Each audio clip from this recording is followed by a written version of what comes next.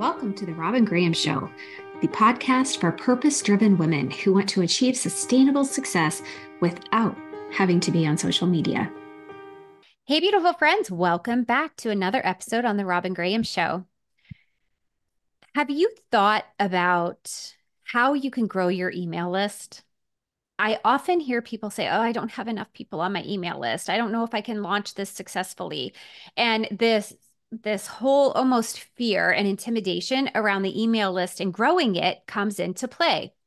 But there are ways that you can grow your email list. And if you don't want to spend 24 7 on social media, your email list is going to be imperative for marketing your business. It's a way to build community, it's a way to keep your audience warm, to stay front of mind so that even if your audience on your email list isn't hiring you today, they may know someone that they can refer you to tomorrow.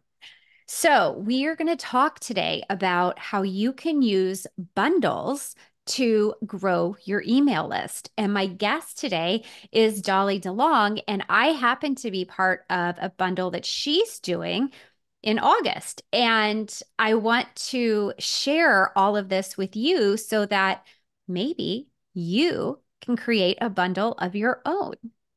Yeah. Dolly DeLong, welcome to the Robyn Graham Show. Thank you so much for having me, Robyn. I really appreciate it.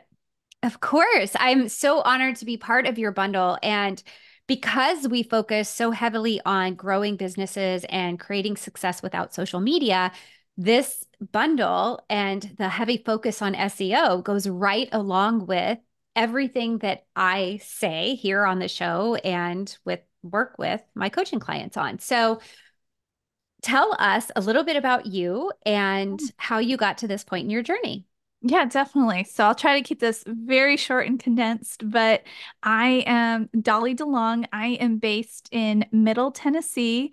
And so I um, have a husband, I have two boys, and I have since 2018, I've been a full time family photographer. So I'm a photographer first. And then in initially I wasn't going to be an educator at all, but then 2020 happened and I was forced to kind of pivot so I can make more money. To be mm-hmm. quite honest, I had to, I wasn't able to photograph during the year 2020 for so many reasons. And so I leaned into my strengths. And at the time, I thought that all photographers were organized and they had systems set up and workflows set up. That came very easy and naturally to me because of my background. Um, I have a background in um, mental health counseling and I worked in higher education. So for eight years, like I was organized for college students, and we all like most college students are not organized. And so I was their organization. And so I took that personality trait and I plopped that into my photography business, and it served me very well to the point other people were starting to notice it and asking me, like, how are you doing this? And so in 2020, when I was faced with, oh, I need to like maybe make another stream of income for my business. Um, that's when I started leaning into systems, workflow, and SOP education. I didn't even know what to call it. I just called it I just organization. I didn't even know what to call it. Um, and so my podcast started in 2021, the Systems and Workflow Magic podcast. And I have just been leaning heavily into teaching other creative minded business owners about the power of systems, workflows, and SOPs, and launching um, very strategically ever since 2021. And it's been so much fun. And so, yeah, that I have two sides to my business photography and then the systems and workflow education. And I love it. It's so much fun. I love that you got creative and created an additional stream of revenue because I think that is how we create businesses that are sustainable, right? Yeah. And we don't limit ourselves to one or the other for an income stream. So, and yours goes hand in hand. I know, and I don't know, listeners, if you're new, you may not know, but I was a professional photographer for a while. In fact, 11 years. And that's how I actually moved into coaching. And because my branding clients needed additional help. Well, mm-hmm. so long story short, that is how I built my business, though people were so impressed with the streamlined approach, having systems in place, and Mhm. then SEO to grow my business so that I was the go to for headshots and branding in our area because I used those systems and had all that in place. So I love that you're doing that for other people. So, as part of that, you have been creating bundles Yeah. and to grow your email list and and of course also to help other people but i would love for you to tell us about your approach to building these bundles that are that have been so successful and will be again in august but tell us how you do it and what Yeah. we need to know if we want to do that ourselves Yeah, definitely. So I was introduced to the concept of bundles by uh, Kate Doster. Uh, she's another online business owner, so I have to give a huge shout out to Kate Doster. Um, but in 2019, when 2018, I had gone full time in my business, and then 2019, that's when I started realizing, oh, I need to grow out my email list. There is power in growing out my email list. Um, I took an like a list building course from Amy Porterfield and then so that that got my feet wet in in that world of the importance of email marketing. And so my email list building story was super slow. Most entrepreneurs it was just been a trickle. And then I learned about the concept of list building through bundles from Kate Doster probably around 2020 when we were all at home, stuck at home, learning all the things. And I was like, this is interesting. So essentially, the concept of a bundle was bringing bundling different resources, templates, courses that were of actual value that different contributors would sell and Mhm. they would sell it under one price and or they would bundle it for free and so the whole point was for a limited time to grow your email list by using a bundle and you're serving hopefully a specific audience and not just random things bundled together but a very specific th- thing bundled together and so i really i i like that concept because one i re- i knew i really wanted to grow my email list very intentionally and serve a very specific audience and then two i really like people a lot i love meeting new business owners. I love entrepreneurs. I love sometimes being in the online business can feel, I don't know if you ever feel very lonely, but I feel very lonely because it can feel very isolating because I'm just working by by myself. And so I I just this gave me an opportunity to kind of network myself and get to know other business owners. And um so I knew who to refer to. And so in 2021 is when I decided to lead my first bundle, and it was called appropriately the systems and workflow magic bundle. I was because systems and workflows are magic. I just I so I decided to name it that bundle. And it was very the theme was all systems, all workflows, and I literally opened it up to every contributor. So I had like about 30 contributors that I reached out to. And it was brand new concept for me. And I decided to do a free bundle. In one week, it grew my email list to 4,000 by 4,000 subscribers in one week. And I was not expecting that. I was expecting maybe like 200, 300, but I wasn't expecting 4,000. So that kind of was a one pivotal moment for me to see one, the power of bundles, two, the power of collaboration, and the power of collaboration with really good resources, giving people great value and serving new subscribers with great value because I was was receiving emails. This is great. I, I can't believe it's free. And so it kind of like gave me an idea. Maybe I need to do this once a year, add this to as a part of my income stream and make a paid version and get experts who come in and teach on a very specific system and workflow theme every year. So the next year I did digital funnels, and then one year I did email marketing, and then this past year I did launching, and then this later this year we're doing systems and workflows of SEO. And so every bundle for me is very specific and it serves a specific audience. The I, I don't want it to be a Mod Podge. I want it to be or a hodgepodge. I don't even know the term. I don't want it to be hodgepodge. like yeah, hodgepodge. I want I want it I want it to be very specific and the theme to serve a real transformation to happen and for these products to be of real value and not freebies because there's so much noise in the online space. I always want to be a really good, well trusted bundle and resource. And so I really, every bundle, I'm like, this is going to be the best. And it, it really is. Like every bundle is amazing because of the contributors and the transformation it, it, it serves for the, for the buyers. And so I, yeah, that's, that's, I it's been great. It's been a great experience and it's been good list building experience for me. And it has helped me navigate the waters of what specifically I want to teach when it comes to systems and workflows. It's helped me build a little bit more confidence in like reaching out and building relationships with other business owners. So, for when you first reached out to me, and you guys, this is the power of growing your community for collaboration. And sometimes collaboration can be one of the best marketing efforts of all.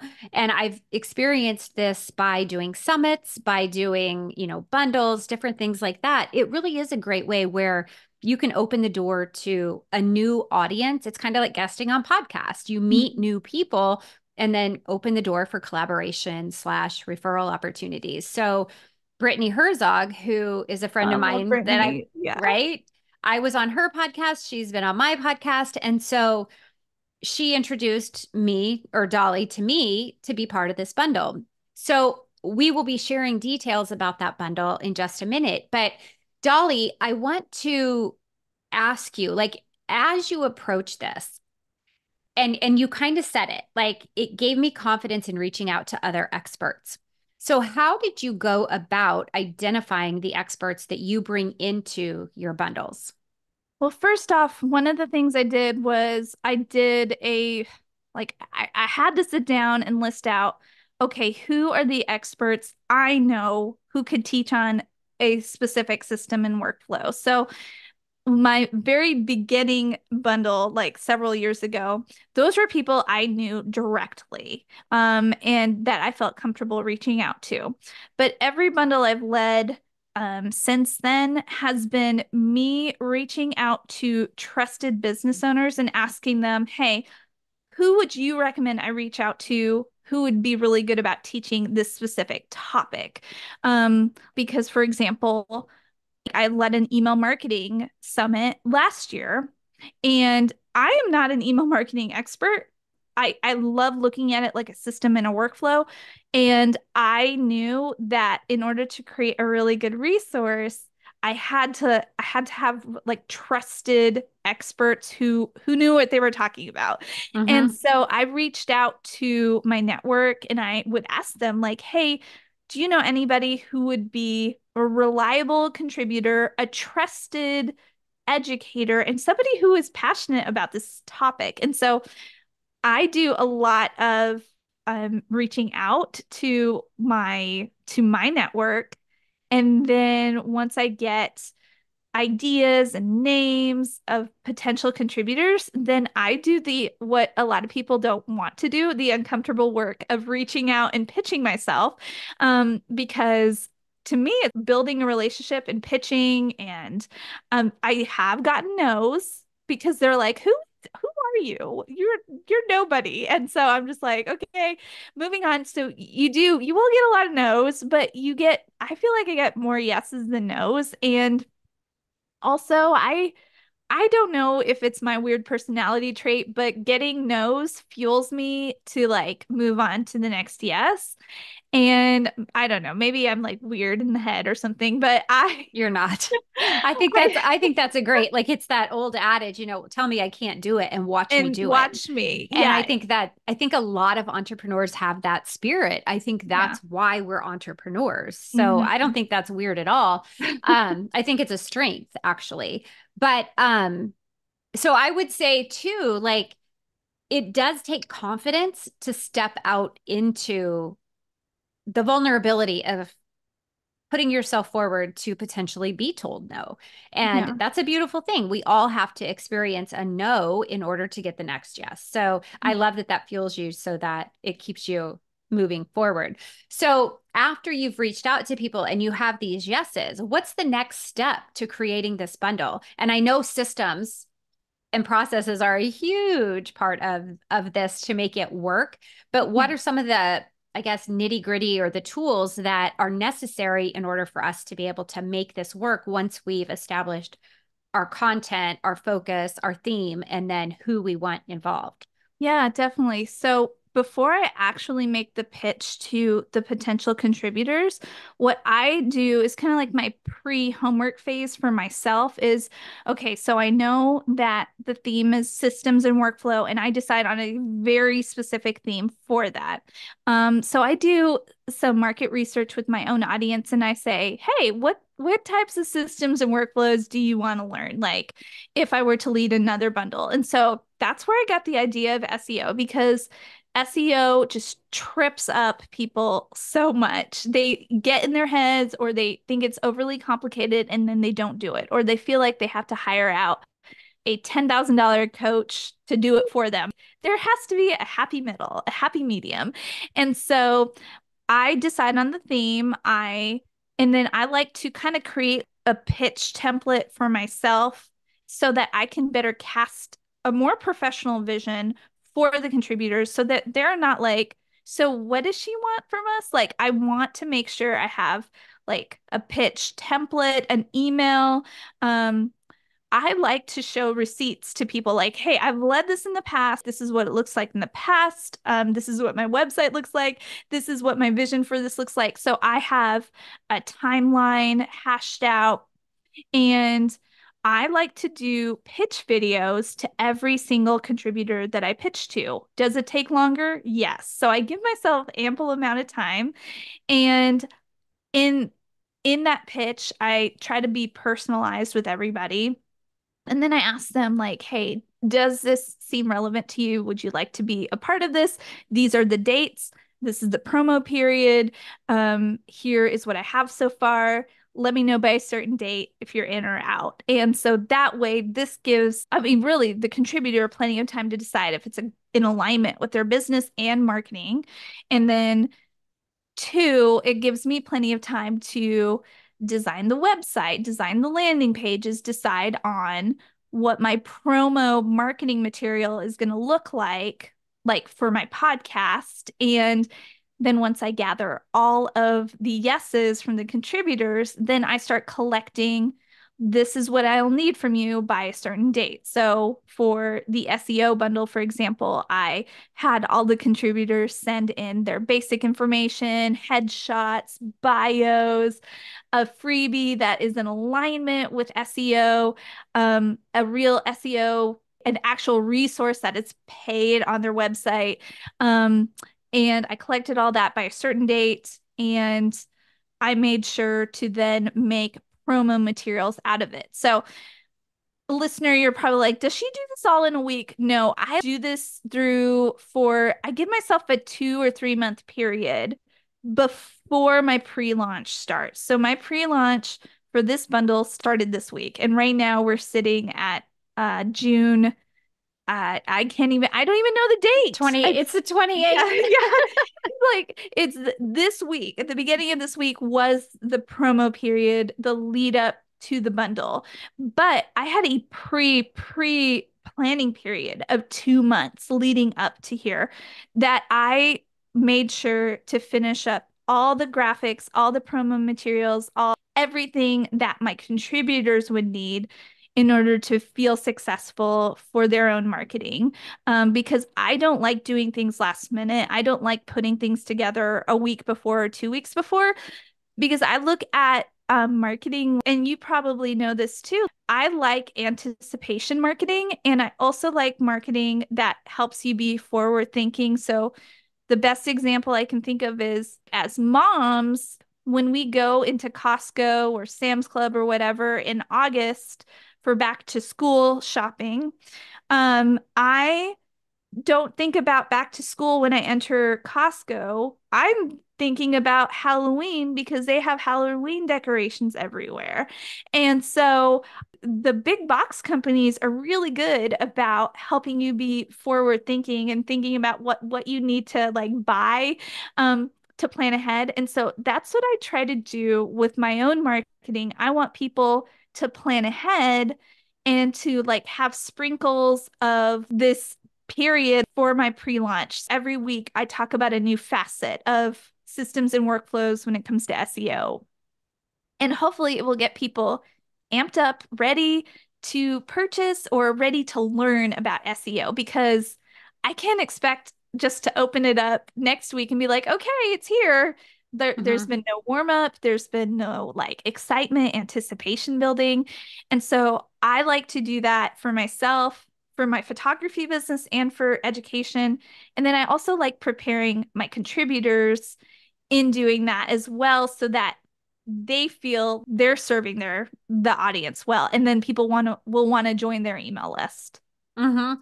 And i you're i mean you were so great about how organized you were and how everything kind of flowed and i one thing that i want to emphasize that you had us do for part of the pre-launch is to create videos of what we were mm-hmm. offering mm-hmm. and you're going to use those as the week before so like the mm-hmm the week before the launch, all those videos will go out so people will get to know who the contributors are.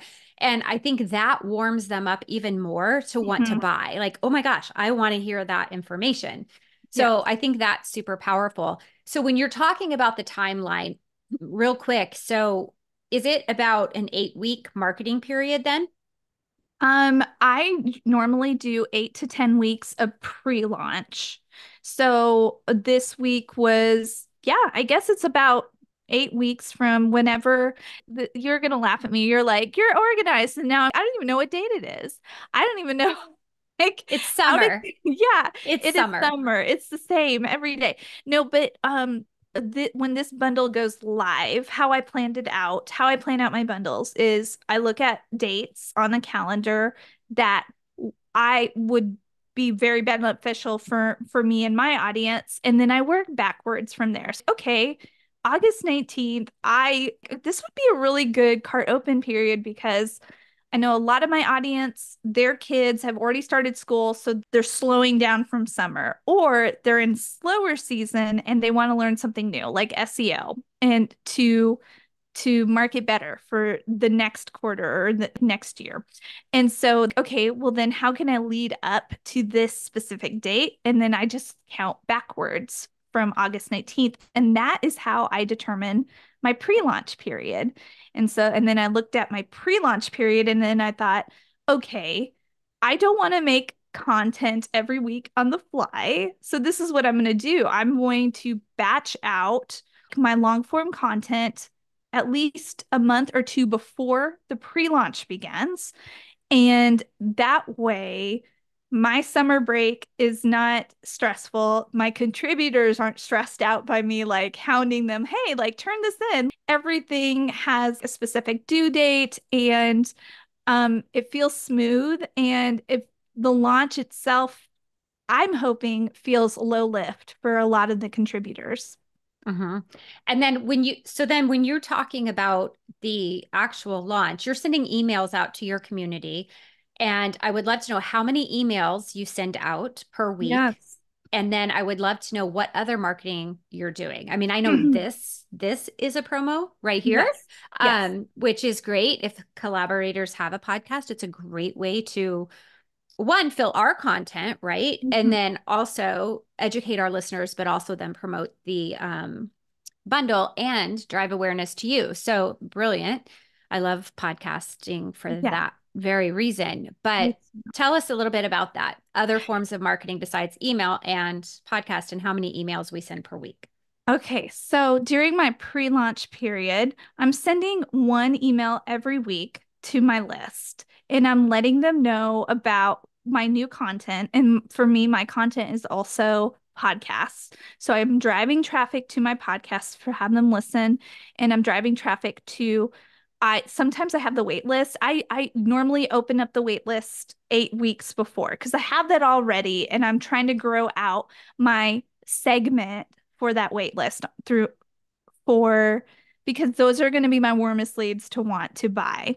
Mm-hmm. Um, during this period of time, I'm also marketing through, I have a YouTube channel that I create like very short form videos, um, quick bites of education that correspond with what I spoke about in the podcast that week. Mm-hmm. So my hope is like from YouTube, I see that as very cold marketing. Like my coldest leads are coming from there. I see my podcast as my some of my warmest leads because nurturing, nurturing, nurturing, and then of course email. I'm always trying to drive people to my email list because that's my hottest leads. Um, and then and then I have a I am on Instagram for two reasons. One because I love I just love it. it doesn't drain me. I love Instagram. And two, that is I'm a very visual person because of my photography background. And so I'm usually on Instagram talking uh, talking daily in my stories and pushing people to either um, get on the wait list or I'm talking about what happened in the podcast that week or I'm like somehow tying it into the content of that week and planting seeds of not talking about like you need to buy the bundle, but talking about their objections about why they wouldn't want to learn about the systems and workflows of S- SEO. And I am talking about it at a different angle every single week. And so that is how my pre-launch period looks like. And, and on top of that, I'm doing lots of cross promoting with other contributors like yourself. Those are really my four main things that I do I one day I'll feel confident enough to do Facebook ads and to drive traffic to a waitlist in that way. But for now, I like to focus on a lot of organic marketing. Mm-hmm. Well, and I think there's a lot to be said for organic marketing too, especially when you have a plethora of collaborate collaborators that are helping to promote it um, you don't have to have the ad spend. And you know we know that that can be almost like a crapshoot you know like is mm-hmm. it going to work? Is it not going to work? So do i invest? Do i not? So i love the organic marketing. And um, okay so i think that's all my questions for right now. Okay. but um so let's talk about the bundle. Like when okay. does it go live? When how can people access it? All that good stuff yeah, so the bundle goes live August 19th of 2024 and at the time of this recording that's like 8 weeks from now and if you are interested in checking it out, I know um, Robyn, you're going to have all the links in the show notes. Mm-hmm. And I would encourage listeners to, if you're listening to this live, um, the week this episode airs is supposed to be the week of August 13th. And that's when our audio summit comes out. So that's kind of like the appetizer to the bundle. So if you're like, ah, I'm not sure if I want to purchase the bundle, I just want to meet the contributors and see what they're talking and teaching about, then we've mapped out a, an entire SEO audio summit series.